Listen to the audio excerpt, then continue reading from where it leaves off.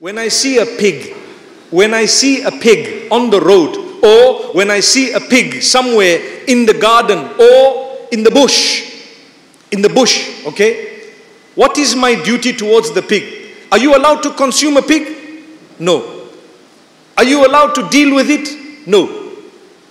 Can you just say, right, pig, haram to consume, dirty animal, I'm going to kill it? Can you say that? Never. Why? Allah gave that pig life. Who are you to harm it?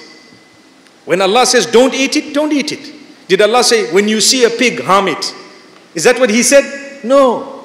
Who gives you the right to take that life away? If Allah wanted, He would not have made the pig. Can't you understand the power of Allah?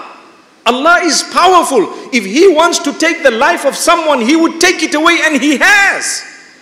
Why should I cut it short? Who gave me the right and authority to harm someone or something that Allah has made?